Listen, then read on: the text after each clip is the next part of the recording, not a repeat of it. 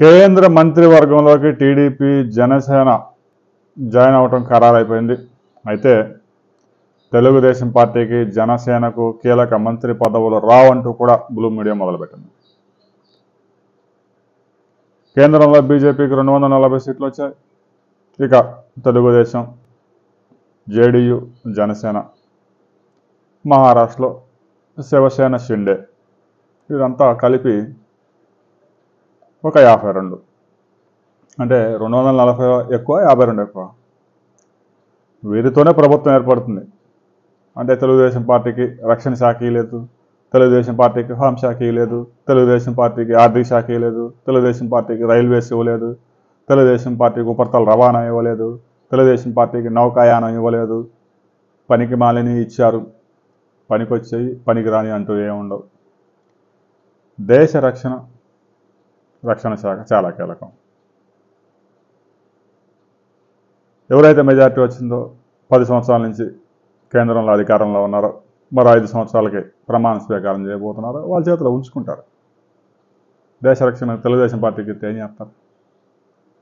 హోంశాఖ అన్ని రాష్ట్రాలను చూసుకోవాలి. ఆంధ్రప్రదేశ్ ఒక్క కాదుగా. ఆర్థిక వ్యవహారాలు చాలా కీలకం. ఆంధ్రప్రదేశ్ ఒకటే కాదు కదా. ఆ శాఖలు ఇయట్లేదని వైసీపీ వాళ్ళకి బాధ వచ్చిందట. తెలుగుదేశం పార్టీ వాళ్ళకి ఏదో ఒక డిప్యూటీ స్పీకర్ పడేసి మంత్రి పదవులు పౌర విమానం ప్రభుత్వ రంగంలో ఒక విమానం కూడా లేకుండా ఉన్నటువంటి పౌర విమాన శాఖ ఇంకా ఏయో శాస్త్ర సాంకేతిక సహాయ మంత్రులు అవి ఇస్తారు.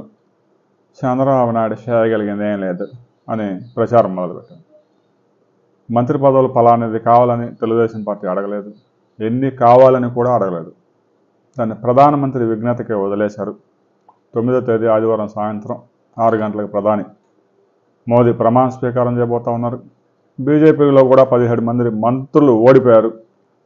దాదాపుగా కేంద్రంలో యాభై మంది మంత్రులు ఉండే అవకాశం ఉంది. అందులో ఈసారి కొత్త వాళ్ళు ముప్పై మంది పాత వాళ్ళు ఒక ఇరవై మంది ఉన్నా కొత్త వాళ్ళు ముప్పై మందికి అవకాశం వచ్చింది.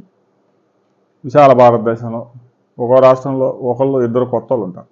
కానీ ఆంధ్రప్రదేశ్లో కనీసం ఐదు నుంచి ఏడు మంది కేంద్ర మంత్రులు ఉండే అవకాశం ఉంది. అందులో ఒక రెండు మూడు కేబినెట్ ర్యాంకు ఒక మూడు సహాయ మంత్రులు ఉండే అవకాశం ఉంది. అంతేగాని చంద్రబాబు నాయుడిని పట్టించుకోవడం లేదు. ఎన్డీఏ కన్వీనర్ కూడా ఇవ్వడం లేదు. ఉంటే ఉండిపోతే పో అన్నారు. అని మొదలుపెట్టినాడు ఒకడు బ్లూ మీడియాలో. ఆరాటం ఆగడం లేదు. సలహాదారులు అన్ని ఉద్యోగాలన్నీ పీకినారు నిన్ననే. వీళ్ళంతా పోయి హైదరాబాద్లో సమావేశమైనారట. ఇక నుంచే మన అసలైన పని మొదలైంది. పేటీఎం బ్యాచ్ కూడా చేతిలో లేదు. ఇక మన ఇక నుంచి చేసే విష ప్రచారమే మనకి పునాది అంటూ సమావేశంలో ఒక పెద్ద నాయకుడు జాతిని ఉద్దేశించి ప్రసంగించాట బండిపోటు నాయకులంతా ఊళ్ళు దోసుకున్నాక పోయి అడవుల్లో వాళ్ళ శిబిరాలు ఆడుంటాయి ఆడ సమావేశం అవుతారు. అలాగనే సమావేశం అయ్యారు ఇక ఏపీ ఫైబర్ నెట్లో ఫైల్స్ అన్నీ మాయమైపోయినాయి. నేను ముందు నుంచి చెప్తా ఉన్నాను నెల రోజుల ముందు నుంచి ఫలితాలు రాక వచ్చి అక్కడ ఫలితాలు ఏదైతే వస్తాయో మధ్యాహ్నం నుంచి ఫైల్స్ మాయం చేస్తారు ఆఫీసులు నగలు పెడతారు నా అడుగులు నుంచి జాగ్రత్తగా ఉండాలని ఫైల్స్ అన్నీ మాయమైపోయినాక పోలీసులను సెక్యూరిటీ పెడితే ఏమంటారా? లోపల డొల్ల కంప్యూటర్లో హార్డ్ డిస్కులు లేవు ఫైల్స్ లేవు. ఇక ఉన్నత విద్యా మండలి చైర్మన్ అయితే వాడు ఫైల్స్ అన్ని సించి బ్యాగ్లు వేసుకుని పోయినట ఎంత శాడిస్ట్ నా చూడండి. రాబోయే కొద్ది రోజుల్లో పన్నెండో తేదీలోపు మరిన్ని విచిత్రాలు చేస్తారు. ఫైల్స్ మాయం చేస్తారు హార్డ్ డిస్కులు ఉండవు ల్యాప్టాప్లు ఉండవు ఏముండవు ఇప్పటికే జిఐడి అధికారులు చాలా కార్యాలయాలు తాళాలు వేస్తున్నారట. ఇక తాడేపల్లిలో సిట్ కార్యాలయానికి అయితే శుభ్రంగా సీలే వేశారు పన్నెండో తేదీ దాకా ఓపెన్ చేయరు. మరి లోపల ఏమైనా ఉన్నాయో ఈ పాటికి అన్ని తగలబెట్టారు తెలియదు. హెరిటేజ్ ఫైల్స్ అన్నీ ఓఆర్ఆర్ ఫైల్స్ అన్నీ ఇవన్నీ నిబ్బెట్టి వెళ్ళిపోయారు. ఇక ఇక్కడ సాక్ష్యాలు జరిపినంత మాత్రాన మొత్తం జరిగిపోవు. మీరు చేసిన అరాచకం ఒక్కొక్కటి తవ్వుతానని చంద్రబాబు నాయుడు కూడా స్వయంగా చెప్పారు. లోకేష్ కూడా రెడ్ బుక్ అదేది ఆషామాషకి పెట్టింది కాదురా. పన్నెండో తేదీ ప్రమాణ స్వీకారం అయిపోగానే పదమూడో తేదీ రెడ్ బుక్ ఓపెన్ అవుద్ది. మరి ఫస్ట్ పేజీలో ఎవడు అంటుందో నాకు తెలియదు చూసి చెప్తాను. ఇంకా అక్కడి నుంచి స్టార్ట్ అవుద్ది. ఒక్కడిని కూడా వదలం లేదా? చంద్రబాబు నాయుడు స్పష్టంగా చెప్పాడు నిన్న మీటింగ్లో.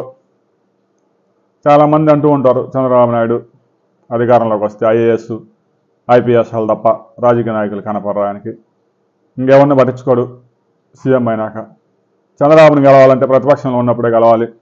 ఆయన సీఎం అయితే గెలవడం సాధ్యం కాదు. కనీసం కరకట్ట గల్లి కూడా పోలీసు వాళ్ళు పోనీరు అని చెప్తూ ఉంటారు. నిన్న ఆయన స్పష్టంగా చెప్పాడు నేను పాత చంద్రబాబు నాయుడిని కాదు. మీరే చూస్తారు. ఒక కొత్త చంద్రబాబు నాయుడిని చూడబోతా ఉన్నారు. బ్యూరోక్రాట్లు పక్కన పెడతాను. ప్రజల ప్రజల్లో పోరాడి గెలిచి వచ్చిన వాళ్ళకి ప్రాధాన్యత ఇస్తాను.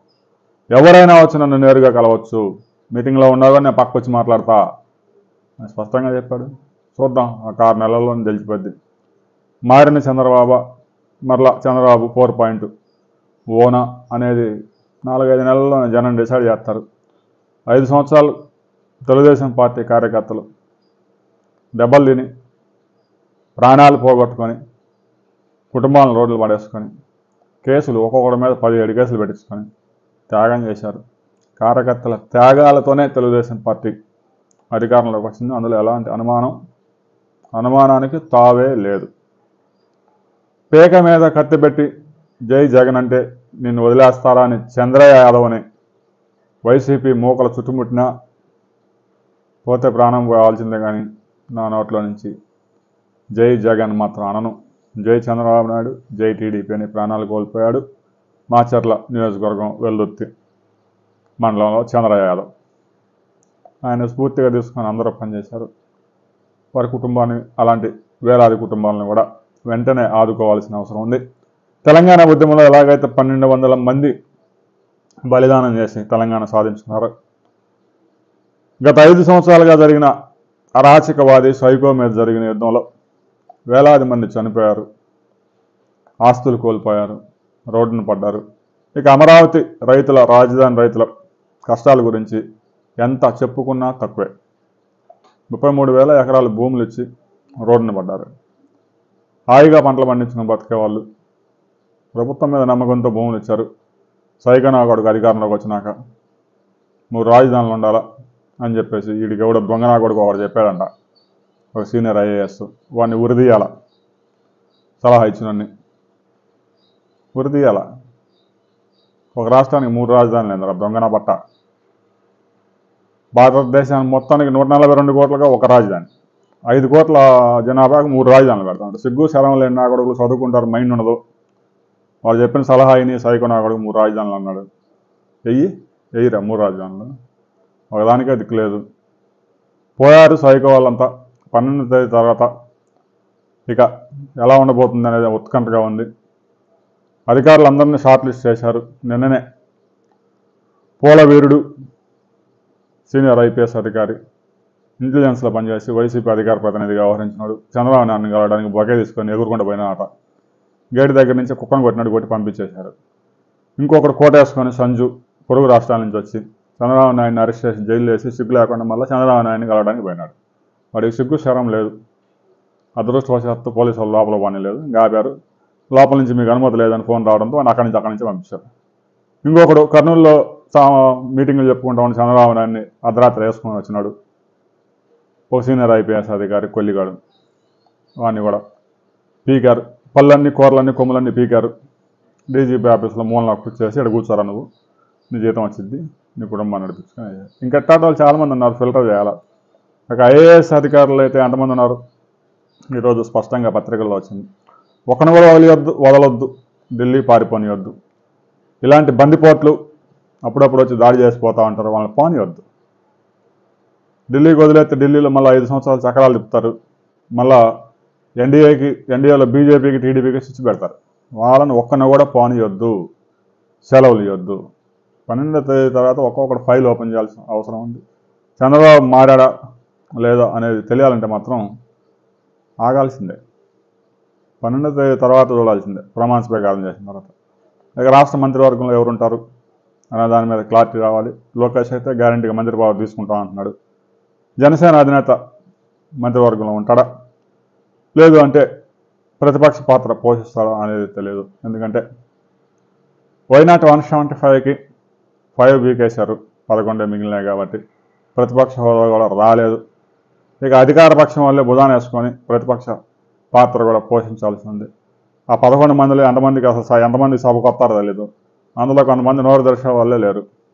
మరి ఇడైతే బదార్ని మడి కట్ట మీద భోగదానిలాగా ఇక అడుతూ ఉంటాడు ఐదేళ్ళు. ఇక అమ్మ చెల్లి కూడా లేదు.